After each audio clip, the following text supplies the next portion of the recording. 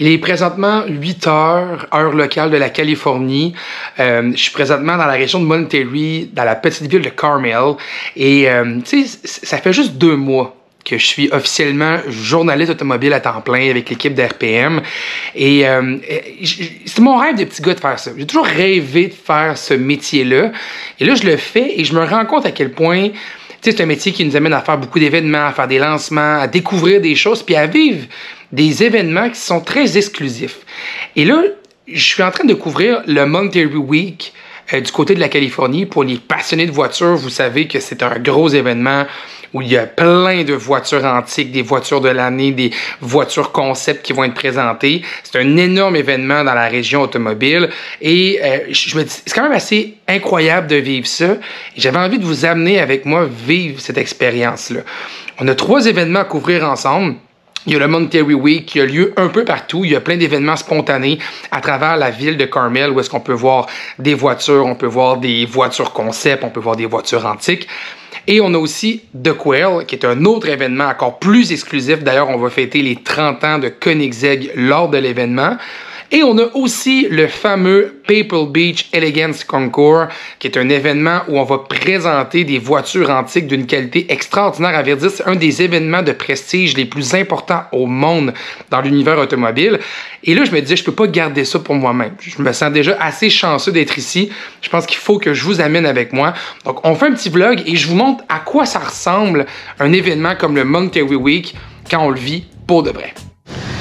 On est en route euh, vers The Quail actuellement. Euh, on m'a déjà dit une chose, j'étais pas assez bien habillé pour y aller, donc j'ai mis une chemise. Euh, j'ai appris qu'il fallait avoir un certain standard pour aller à l'événement. Il y a certaines personnes qui vont me demander aussi comment on fait pour aller dans ces événements-là. Il euh, faut savoir que nous, aujourd'hui, on est invité par Lincoln, qui est un constructeur automobile américain que vous connaissez sûrement très bien. Lincoln nous a invités pour le dévoilement du nouveau Navigator 2025. Et euh, pourquoi le constructeur fait ça? C'est simplement pour avoir de la couverture. Le but du constructeur avec cette invitation-là, c'est de nous permettre ben, d'avoir un article sur le site web d'RPM, d'avoir des vidéos que moi je vais faire, de prendre des photos.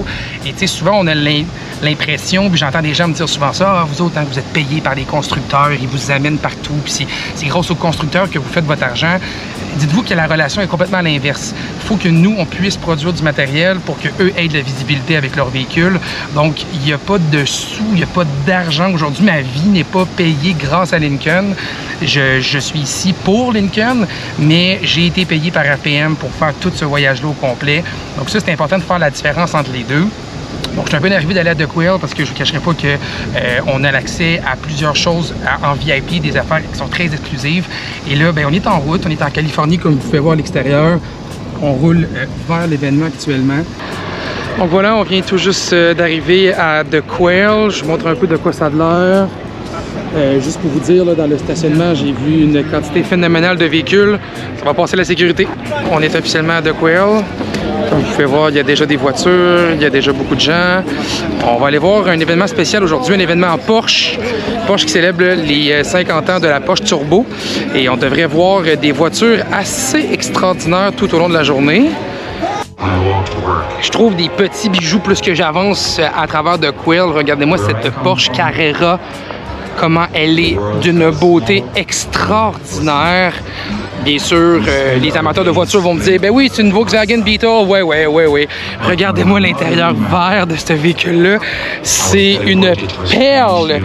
Et vous avez toutes les informations devant chaque véhicule. On va vous donner les informations pour vous dire c'est qui les propriétaires, est-ce que c'est une voiture spéciale, elle vient de où et quoi que ce soit? Donc devant chaque véhicule qui sont exposés, vous allez avoir ce genre d'informations-là.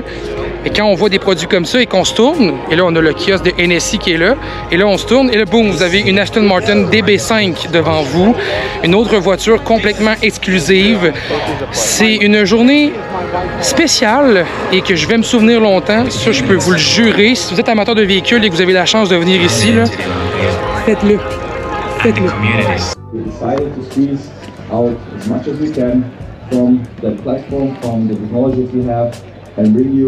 Venezuela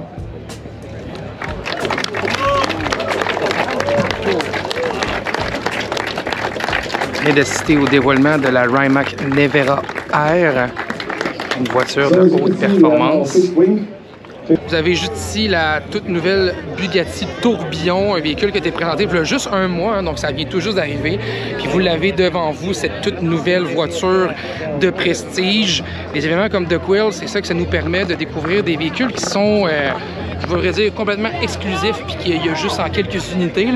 Ben, c'est ça que ça donne. J'ai appris le coût d'un billet pour venir ici. Hein, euh, assister à un événement comme ici, si vous achetez vous-même votre billet, c'est plus de 1800 dollars américains. pour pouvoir juste venir passer la journée sur le site.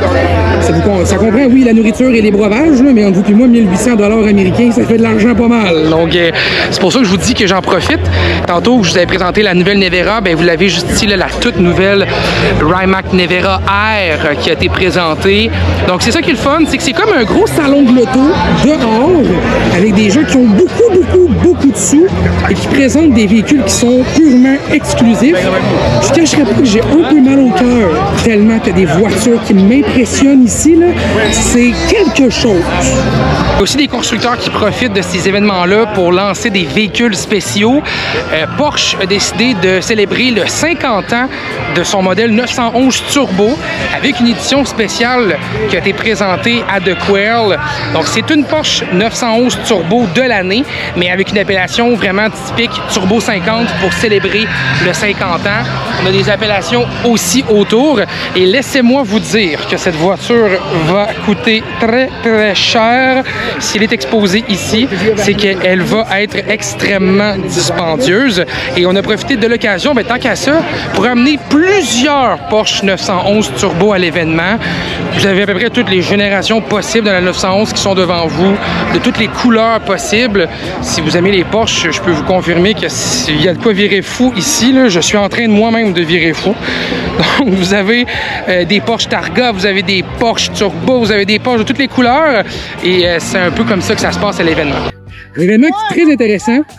J'ai bientôt fini ma journée. Je vais retourner à l'hôtel dans les euh, prochaines minutes. Euh, mon résumé de, de est assez simple. Je vous dirais que c'est un événement qui est extrêmement huppé, très dispendieux. Beaucoup d'argent sont ici. C'est un beau trip, mais comme je disais un petit peu plus tôt, c'est comme un salon de l'auto pour les gens qui ont de l'argent. Donc, euh, c'est intéressant de voir des produits exclusifs. En même temps, aujourd'hui, j'ai pas conduit aucun véhicule. J'ai juste salivé devant des voitures historiques. Et je pense que j'aurais aimé pouvoir peut-être mettre plus à l'essai ou mettre la main derrière certains des produits qui sont là. Mais que voulez-vous? C'est tellement des voitures exclusives, on peut pas les conduire. Donc, euh, c'est un événement pour les amateurs de collection, les amateurs de véhicules nichés. Mais si vous aimez plus la conduite et plus les essais de véhicules, c'est pas un événement pour vous. C'est la deuxième journée de l'aventure. Donc, après avoir été voir les véhicules hier dans une exposition à The Quail, aujourd'hui, on est sur la mythique piste de Laguna Seca. Vous entendez derrière moi, il y a les véhicules. On le voit avec toute l'espèce de brouillard de la Californie. Mais on s'en va officiellement voir les voitures courir sur la piste. Regardez mon sourire, là. Ça va être le fun. Plus qu'on avance vers la piste, plus que c'est bruyant et plus ça sent la voiture de course. Dans le stationnement aussi, on peut euh, tout de même se rincer l'œil un peu partout. Donc, c'est vraiment une communauté de gens passionnés de voitures qui se rassemblent durant le Monterey Week. Et qu'est-ce qui est le fun de savoir, c'est que les voitures qui sont à l'essai, c'est vraiment les voitures des propriétaires. Donc, c'est des voitures de course qui sont antiques, euh, il y a des véhicules plus récents aussi, mais c'est des voitures qui sont de propriété personnelle. Et ça, je pense, ça rend la chose encore plus magique de dire, si vous voulez, vous aussi, un jour, venir faire de la course au Laguna Seca, c'est possible, dans le fond. Trouvez-vous une voiture, inscrivez-vous une classe, sortez votre argent et vous allez pouvoir venir. Donc, j'ai juste d'arriver dans les buis c'est ici que les euh, propriétaires vont venir avec leur écurie pour euh, travailler sur leur véhicule. Je dis écurie, mais vous comprendrez que c'est souvent des propriétaires personnels, donc euh, c'est quand même impressionnant de voir ça parce que justement, c'est des camions, vous avez des voitures qui sont exposées, des voitures qui vont aller sur la piste aussi aujourd'hui. Et là, on est en route vers le kiosque de Jim Farley, qui est le, le, CEO, le PDG de Ford, qui aujourd'hui va courir sur la piste ça ne finit plus de finir. Je marche et je parle de voitures sans arrêt. Il y a des voitures de toutes les époques qui rappelle aussi euh, ce moment historique automobile. Il faut savoir que cette année, euh, durant le Monterey Week, on célèbre le 50 ans euh, des courses durant l'événement sur le Laguna Seca. Donc, c'est une édition spéciale. On a des voitures de collection de plein d'années. Comme je vous disais un petit peu plus tôt, il y en a pour tous les goûts. C'est comme ici, on a une voiture de 1904, ce qui est pas rien. Demandez-moi pas de vous emballer de long en large. Je vous cacherai pas que je la connais pas du tout, cette voiture-là. Mais vous avez là, des voitures historiques un peu partout. Et de l'autre côté, bien, pour ceux qui préfèrent les voitures un peu plus récentes, il y en a également. Vous avez des Porsche qui sont prêtes à aller sur la piste, des véhicules qui seront aujourd'hui en compétition. On a également des Ferrari, on a des voitures euh, de Formule E. Donc vous allez voir, aujourd'hui, je pense que je vais vous ramener des images assez mémorables. On est présentement assis dans la suite de Ford. On va assister à la course de Jim Farley, le PDG de l'entreprise, qui est à bord d'une vieille Cobra et qui va faire partie aujourd'hui de la compétition. Peu importe votre allégeance, c'est quand même cool de la part d'un PDG de faire encore de la course dans des vieilles voitures. On va le voir courir dans les prochaines minutes. 50 years of historic racing here at West Equity Limited Seconds. If you need assistance, just ask one of our Je pense que la vue va être très bonne.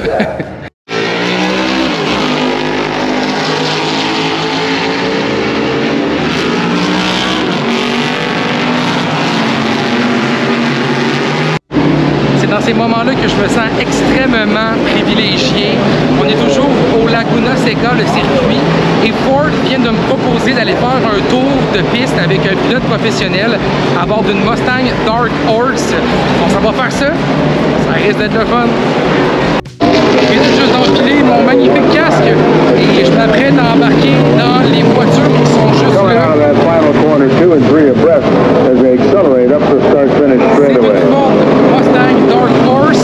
Et on s'en va se faire conduire par des pilotes professionnels. Donc je ne vais pas conduire, mais je vais vivre quelque chose, ça j'en suis certain. Mon taxi arrive.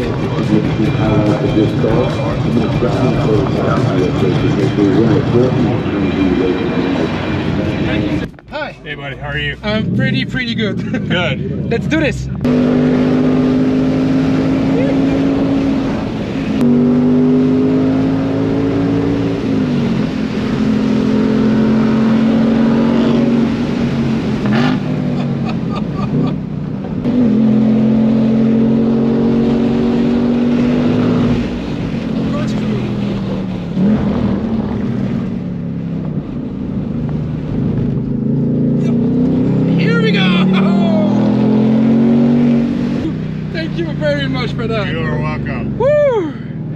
Ça, c'est un tour sur le Laguna Seca. Je suis encore en train de me remettre de mes émotions de cette balade en Dark Horse. Euh, ça fut complètement hallucinant. Jusqu'à présent, parmi The Quail et le Laguna Seca Day, je pense que j'ai préféré mon temps ici sur la piste. Il y a des voitures exceptionnelles, il y a du plaisir, c'est aussi beaucoup moins dispendieux. J'ai appris que vous pouviez même venir gratuitement sur le site. Il y a des endroits où on peut aller voir simplement les voitures coursées. Donc j'ai comme l'impression que dans cette folie d'argent-là, la journée au Laguna Seca est comme parfaite pour les amateurs de véhicules. C'est sûr que dans ma vie, je vais retourner ici parce que ce fut une de mes plus belles expériences et que si vous regardez pour vivre quelque chose du genre, je vous conseille fortement de venir voir au Laguna Seca durant le Monterey Car Week. C'est vraiment extraordinaire. Les 5h45 du matin, un petit peu plus tôt aujourd'hui parce qu'on s'en va à People Beach. Donc, c'est l'événement d'exposition automobile que j'avais très hâte de voir. Qu'est-ce qu'il faut savoir, c'est que là, on part tôt euh, parce qu'on va avoir la chance de voir les véhicules arriver sur le site. C'est comme un petit événement au début de la journée où les véhicules vont monter par eux-mêmes pour aller se positionner sur le site. Donc, habituellement, ce que j'ai compris un peu, c'est que ça a l'air d'être un moment intéressant si on aime les voitures parce que sinon, on les voit plus bouger. Hein. Les autres vont être là-bas en exposition. Donc, toujours le fun de voir des véhicules très exclusifs se déplacer par eux-mêmes. Donc, c'est pour ça qu'il est plus tôt. Euh, Pebble Beach a quand même un peu de pression, je vous dirais, parce que hier, j'ai passé une journée assez extraordinaire au Laguna Seca et euh, mes attentes sont hautes. Je vais dire ça comme ça. Mes attentes sont hautes pour l'instant, donc j'ai hâte de voir à quoi ça a de l'air. Et euh, ce qu'on me dit, c'est que ça va être surtout impressionnant de voir la qualité des véhicules qui vont être sur le site.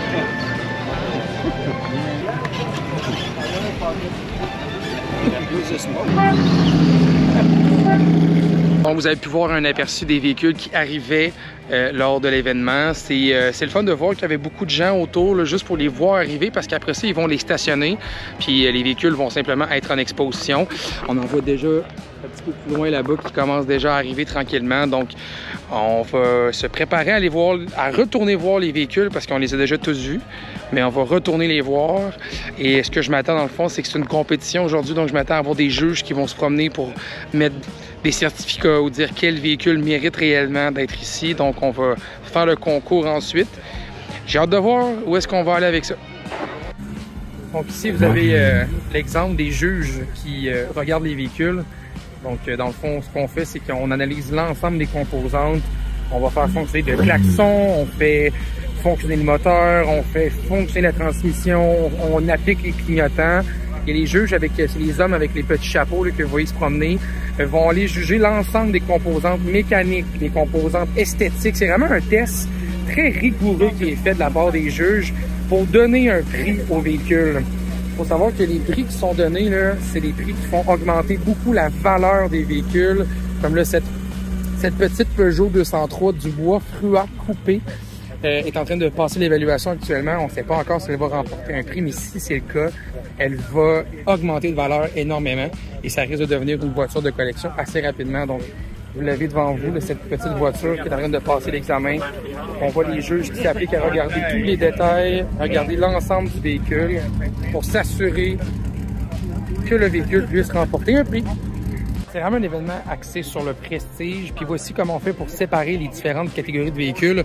On a, lorsqu'on arrive, un petit car guide qui nous donne l'ensemble des catégories. Et lorsqu'on se promène à travers le site, c'est facile de suivre un peu ce qu'on aime parce qu'il y a des petits panneaux séparés par des numéros comme c'est ici qui nous amènent dans les différentes thématiques. Chaque véhicule qui sont ici vont passer à travers une évaluation des juges euh, qui vont venir juger si le véhicule peut remporter la catégorie. Mais c'est agréable de pouvoir se promener avec cette séparation-là parce que ça nous permet justement d'aller chercher le genre de véhicule qu'on aime et de pouvoir visiter également puis de comprendre un peu c'est qui les compétiteurs dans le concours de ce modèle-là qu'on aime. Donc c'est vraiment plaisant de pouvoir faire ça. Vous avez également, là, à travers le petit car guide, tous les petits éléments intéressants sur les véhicules, l'histoire, les motorisations, euh, l'unicité des modèles et compagnie. Donc, euh, vous voyez autour de moi, c'est assez prestigieux. Il y a beaucoup, beaucoup, beaucoup, beaucoup d'argent ici. Je serais curieux de savoir qui assure cet événement-là parce qu'il y a de l'argent pas mal.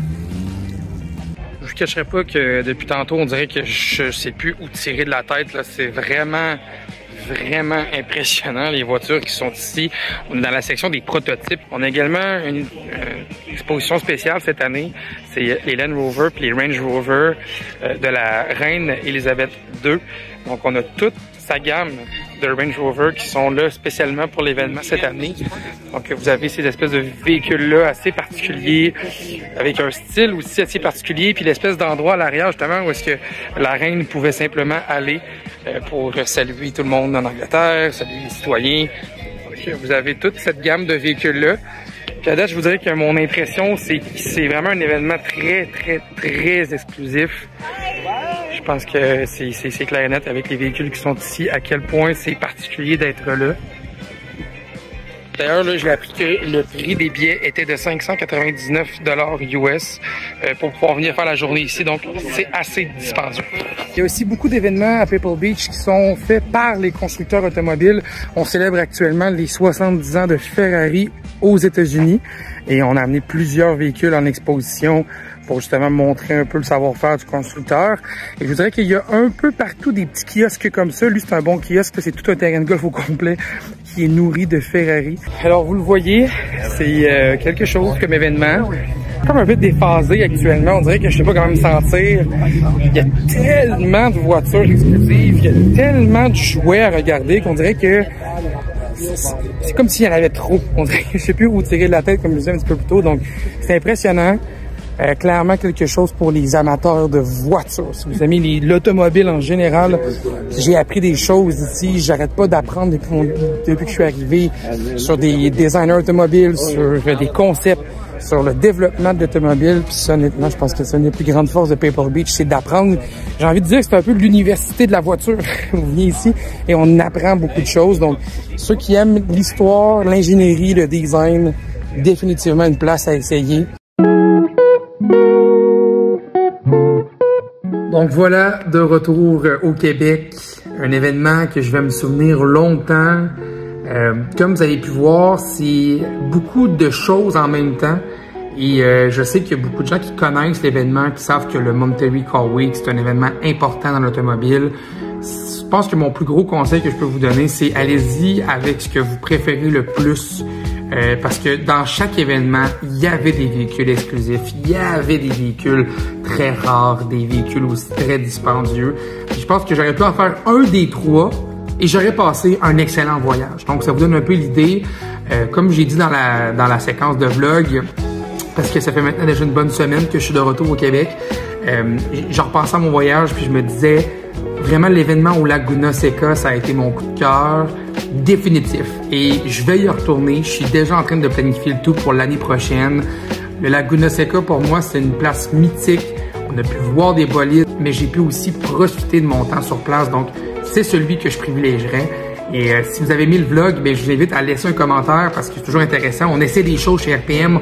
On tente d'expérimenter plein de sortes de vidéos différentes. Je suis curieux de savoir si vous avez apprécié la formule. Sur ce, ben, je vous invite à vous abonner sur Instagram, Facebook, TikTok, YouTube. Allez voir le site web d'rpmweb.ca également. C'est comme ça que je vais pouvoir continuer à vous faire d'autres vidéos dans le futur. Donc, abonnez-vous. Bonne journée.